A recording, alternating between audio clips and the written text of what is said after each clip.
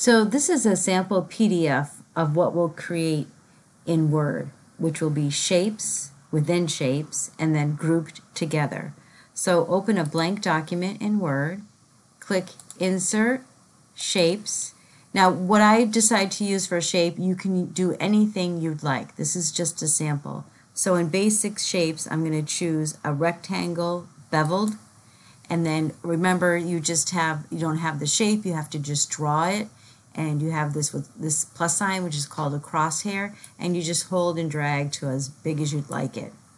And what I'm going to do is build another one inside it. So I can just it's in recent shape so I'll just click it again and then just start in the corner and again build this same thing. I'm going to do it two more times.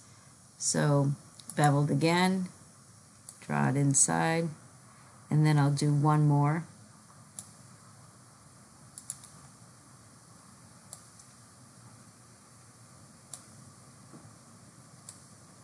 And then for inside, I'm going to go to the shapes, and this time I'm going to choose um, this what's called ribbons, tilted up, and I'm going to draw that within here. Notice every single insert picture that you insert is going to be blue. So now what I'm going to do is, I'll keep the last one blue, but the, the second one in, you have this new tab, Shape Format, and Shape Fill. So you can pick any color you'd like. Then the next one, pick a different color. You can also go to More Colors. And then the next one.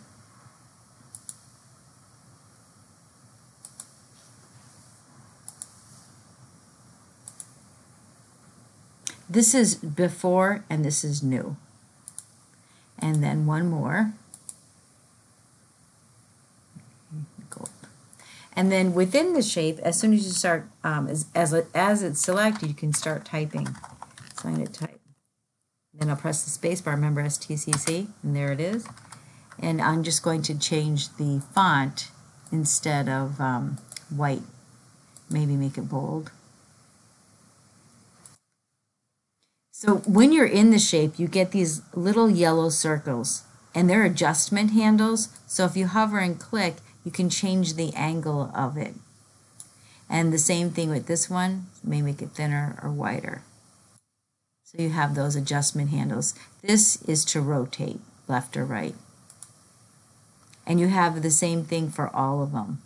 So if you want to change the thickness of it or make it the other way, thinner, whatever you'd like to do. You can leave them as they are. So right now, if I were to move this picture uh, and I clicked it, I'd only be moving the pink. So I want to group them all together. So I'll click one, doesn't matter where you start, and then I'll hold shift and click, click each of the others. So there should be a total of one, two, three, four, five. And then in the shape format tab, I will choose um, this is called um, the top one, group, and then choose group. So now it's one item. Move it anywhere you like. If you, for some reason, needed to change something, you could go back here and ungroup.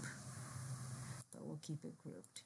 So on this one, you can do another one if you'd like. Uh, I just This is just to experiment and, and explore all of the shapes and what you can do within the shapes um, overlapping them, um, putting them together. So I'll, I'll, do another one.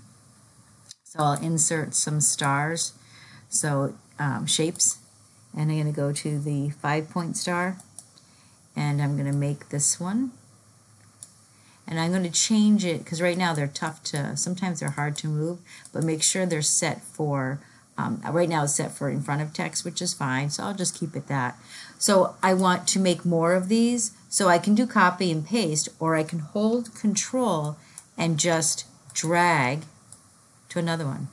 Let go, control, and drag. And then you can change in the shape fill the colors.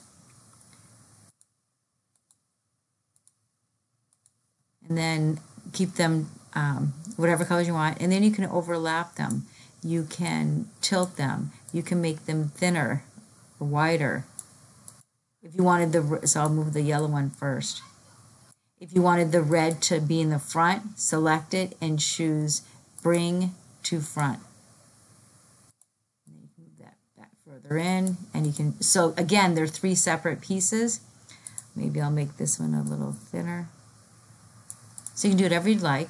Now to, to make them as one group, select one, use shift, click the red one, the blue one, and group. Shape, um, shape format, group. And now it's one. So that's a save and submit. Thank you.